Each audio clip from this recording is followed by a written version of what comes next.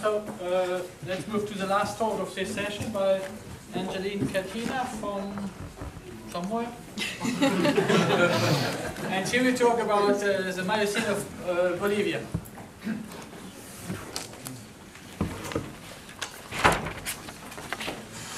Thank you. I am indeed from somewhere. Uh, currently Cleveland.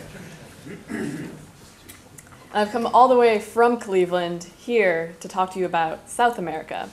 And that's because South America has an exceptionally rich record of Cenozoic mammal evolution. The tropics of South America are known as the Neotropics, and three orders and 28 families of mammals are endemic to this region, which is significantly more than any other biogeographic region. This diversity is due in part to and has been characterized by provinciality that developed in the early Miocene and persists today. But despite the unparalleled levels of diversity within the neotropics, the study of South American fossil mammals has traditionally focused on faunas from high latitude extratropical localities, specifically those of Patagonia and Argentina. And as a result, little is known about the paleoenvironments that foster the development of ancient and modern mammalian diversity within the neotropics. Bolivia holds great potential for improved sampling of neotropic Cenozoic paleofaunas. Numerous fossil localities have been identified within Bolivia's sedimentary basins. Bolivia is one of the few areas with a rich fossil record of the Middle Miocene. While the mammalian faunas of these localities have been extensively uh, described, very few localities have been investigated from a paleoenvironmental standpoint. In South America, paleosols and ichnofossils have been documented at several Eocene to early Miocene Patagonian localities. And the paleopedologic and ichnologic data from these sites has proven useful for interpreting paleoclimates and paleoenvironments of these fossil mammal-producing localities. This study aims to supplement the limited knowledge of neotropical paleoenvironments through the use of paleopedology and ichnology. And the early Middle Miocene locality of Cerdas, Bolivia is used as a case study to demonstrate the utility of paleopedology and ichnology for accurate paleoenvironmental interpretations of neotropical fossil localities and to facilitate investigations of mammalian provinciality within the neotropics. The Cerdas locality is composed of Badlands, located approximately 60 kilometers southeast of Uyuni, which is where the salt flats are, and it's at a modern elevation of right around 4,000 meters. Cerdas is situated on the eastern edge of the Bolivian Altiplano, which is a 200 kilometer wide east west trending basin that's bounded by uh, the eastern and western Cordilleras. Neogene sediments deposited within the Altiplano were sourced from the Cordilleras and are typically horizontally oriented and composed of fluvial lacustrine sediments, volcanics, and continental evaporites. The formation that includes the Cerdas or sedimentary units of Cerdas is not formally defined, and as a result, these units are informally referred to just as the Cerdas beds. The stratigraphic section of Cerdas consists of over 250 meters of flat-lying sediments, and this study focused on the lower 50 meters, which are primarily composed of fossil-bearing fluvial lacustrine source sediments that have been previously interpreted as braided alluvial deposits. And the fossil fossiliferous zone of Cerdas spans between about 16 and 15 MA, but since we are looking at the lowermost most portion of these beds, we're right around that 16.3 date. At least 15 species of mammals from 11 families and 7 orders are currently represented at Cerdas, including 4 families of both xenarthrans and notoungulates. And about 80% uh, of the identified specimens of Cerdas are mesotheriid notoungulates. The lowermost 30 meters of the Cerdas beds were studied, and paleosols were identified within the beds, and five sections from four stratigraphic intervals were chosen for detailed analysis. And these intervals are at 5 and 9 meters. Two sections were taken at 19 meters. They're from the same stratigraphic interval, but located 15 meters laterally from each other. And the final section was at 28 meters. Samples were collected and used for thin sections and XRF, which is bulk geochemistry. And three, pedoty three pedotypes are identified based on the pedogenic properties, the ichnofossil assemblages, and the geochemistry. Rhizoliths, or root traces, were the most common ichnofossils, and there are centimeter scale elongate gray and red rhizohalos in both the type 1 and type 2 paleosols.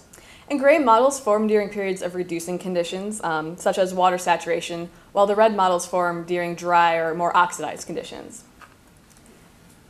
Rhizotubules are cemented uh, cylinders that form around root molds. And the type 3 paleosols contain fine millimeter scale, vertically oriented, and branching calcareous rhizotubules. Vertical to horizontally oriented, non-branching, unlined, passively filled shafts are common within the paleosols. They're in all three pedotypes. And they're linear to J-shaped and circular in cross-section.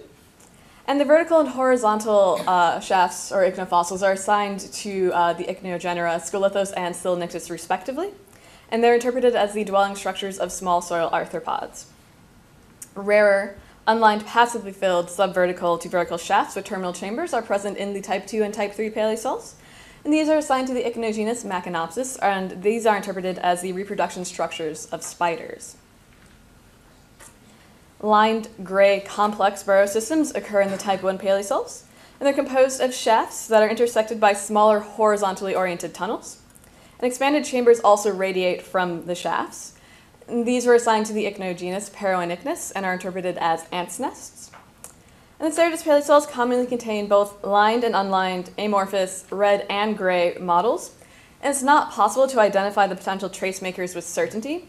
However, the morphology of the mottles uh, of the Cerdas beds indicates that they are biogenic in nature.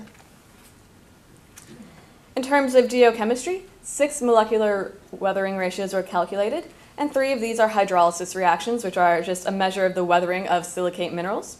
And they are base loss, leaching, and lessivage. And lessivage is just the translocation of clay. There's oxidation, which is a measure of oxidation, which is how well drained the soil was. And there's also calcification and salinization, which is a measure of the precipitation of carbonates and soluble salts. And high uh, ratios for these two are indicators of either a drier environment or a seasonal environment. Two indices are also calculated using the molecular weathering ratios. And the first is the chemical index of alteration without potassium. And it's a measuring of the weathering of feldspars and their hydration to form clay minerals. And this is given in a percent. There's also mean annual precipitation, which is given in millimeters. I'm going to go through the different pedotypes in a bit of detail. So just to reorient ourselves, the type 1 paleosols come from two sections. They're the lower two. And they occur as overlapping stacked profiles, and they're characterized by thin to poorly to moderately defined soil horizons and are composed of red to brown sandstones and silty sandstones. Interclasts in the form of gravel-sized tuffaceous, tuffaceous fragments, and both laminated and non-laminated clay clasts are also common throughout the profiles. The ichnofossil assemblage consists of mottles, and clumped distributions of rhizohalos, as well as Skolithos, Silonyctus, and the Parowanichnus. And in thin section, the paleosols show weak to moderate levels of development. Skeleton grains are primarily feldspars, and some grains do have thin weathering rinds. And small iron nodules and patchy localized layers of high birefringence clay are also present in the samples. And the birefringence is caused by that lessivage, or that translocation of clay, the clay grains get oriented and they uh, appear as bright streaks in thin section. The molecular weathering ratios for the type 1 paleosols show levels, values for oxidation and lessivage that are low. Base loss is the lowest at the top of the S1, S1 profile, but is otherwise moderate throughout. Leaching is moderate to high. Calcification peaks at the top of the S1, S1 profile, but is otherwise moderate throughout.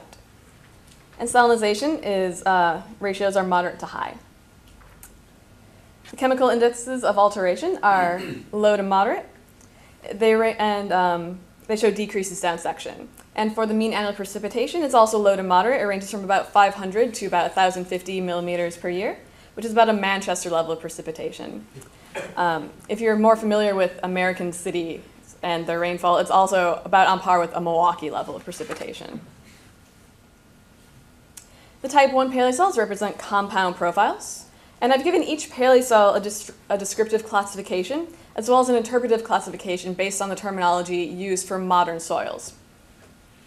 Due to the poorly to moderately defined soil horizons, the abundant feldspars, as well as the volcanic fragments, and the ferric nodules, the type 1 paleosols are classified as eutric ferric protosols, and they're interpreted as inceptisols, which are uh, immature incipient soils. The features of these paleosols and ichnofossils represent a shrubland community in a humid to subhumid seasonal environment, and the clump distribution of the rhizohalos is typical of a shrubland where vegetative cover and therefore root distribution is patchy. The seasonal variation in moisture content is indicated by both the gray and the red mottles, as well as the pres- presence of pedogenic iron nodules, which also form during redox conditions. And there's also low oxidation and base loss and lessivage, combined with high values for uh, saliniz- salinization and calcification, which indicates uh, both waterlogged and drier conditions. And the type 1 paleosols likely formed on areas of uh, floodplains, within active floodplains, proximal to the braided stream channels, such as natural levees. And flooding events are indicated by those gravel-sized tuffaceous lithics, as well as the uh, clay clasts. And the time of formation is estimated to be on the order of around hundreds to thousands, or tens to hundreds of years. The type 2 paleosols came from um, more of the middle of the, the section studied. And they occur as multiple, relatively thick, overlapping stacked profiles and are characterized by poorly defined horizons composed of reddish brown silty sandstones and a light olive gray claystone. Interclasts in the form of tuffaceous, gravel-sized tuffaceous lithics, um, and clay clasts are also present within these profiles. And there's also a thin clay-rich horizon that occurs in both profiles. And argillans, which are clay linings, are present in the upper portion of the S2, S1 locality. The ichnofossil assemblage of the type 2 paleosols contains, uh, consists of abundant uh, lined and unlined mottles and predominantly gray rhizohalos. There's also Silinicnus, uh, and rare Macanopsis. In the thin section, the paleosols show moderate levels of development. The skeleton grains in the more developed, well-developed areas commonly have thin weathering rinds, and small iron nodules and larger, more distinct zones of high birefringence clay are also present in the samples. There's also a distinct horizon of angular blocky PEDs towards the top of the S2S1 profile. And PEDs are the fundamental unit of soil, and so a horizon of PEDs is a good indicator of a paleo surface. The type 2 paleosols have values for oxidation and lessivage that are low. Calcification is moderate, and base loss is moderate to high in both localities. Salinization is high in both localities and increases down section. And leaching is moderate to high uh, and decreases down section. Chemical index of alterations uh, peaks at the top of the S2S1 profile, but is otherwise moderate throughout. And the mean annual precipitation is also moderate. It ranges from about 800 to 1,050 millimeters, which is about a Penarth level of rainfall, or uh, Cleveland, if you're familiar with how rainy it can be there. And the type 2 paleosols represent composite paleosol profiles and are classified as eutric argillic protosols and also interpreted as inceptisols. And the features of these paleosols and ichnofossils represent a, rush, a lush vegetative community composed of dense ground covering, covering vegetation with a high density of soil dwelling animals in a humid uh, environment with seasonally waterlogged conditions. Like the type 1 paleosols, the co occurrence of the iron nodules and both the red and gray mottles are good indicators of uh, seasonality, as well as the low values for lessivage and moderate to high values of uh, calcification and salinization. And the type 2 paleosols likely formed in the distal floodplain in areas such as overbank deposits. Again, the flooding events are indicated by those uh, tuffaceous lithics as well as the clay clasts, and the time of formation is also interpreted to be on the order of tens to hundreds of years. And the final pedotype, the type 3 paleosols, are located from towards the top of the stratigraphic interval. And they occur as overlapping stacked profiles and are characterized by moderately well-defined horizons and are composed of brown silty sandstones and claystones. Gravel to cobble-sized lithics are abundant in the lower portion of the profile, and clay clasts are common throughout the upper two-thirds of that profile. The ichnofossil assemblage consists of abundant fine rhizotubules, as well as Skolithos and Silinicnus. In thin section, the paleosols show moderate levels of development. The skeleton grains uh, almost always have these thin weathering rinds. Small iron nodules are also present within the type 3 paleosols. There's also a single well-defined horizon of granular PEDs that's located towards the middle of the profile. The type 3 paleosols show values for oxidation and lessivage that are low and base loss that's very low. Calcification and leaching ratios are moderate to high. Salinization is high throughout. And the chemical index of alteration uh, is low, ranges from about 550 to 750 millimeters of precipitation a year, which is about a Newcastle level of rainfall or a San Francisco level of rainfall. And these paleosols represent compound profiles. And due to the presence of the uh, poorly to moderately developed horizons, the granular PEDs, and the abundant fine calcic rhizotubules, as well as the iron nodules, these type 3 paleosols are classified as calcic ferric protosols and are interpreted as mollisols, which in the modern are typical of grasslands. The B horizon exhibits a level of development that is beyond that of an inceptisol, and the abundant fine calcic root traces and the discrete zone of well-defined granular PEDs is also a good indicator of a mollisol. The features of these paleosols and ichnofossils represents a uh, subhumid to semi-arid open soil ecosystem. And the type 3 paleosols likely formed on unstable landscape surfaces in a shifting fluvial environment that were subject to rapid influxes of sedimentation. So not necessarily were there grasses there, but there were small um, plants that could have occupied that space. And the time of formation for the type 3 paleosols is interpreted to range from hundreds to thousands of years. This research represents the first independent non-mammalian-based paleo-environmental uh, reconstruction of Cerdas and the first detailed paleosol and ichnofossil-based reconstruction in South America north of 22 degrees south latitude.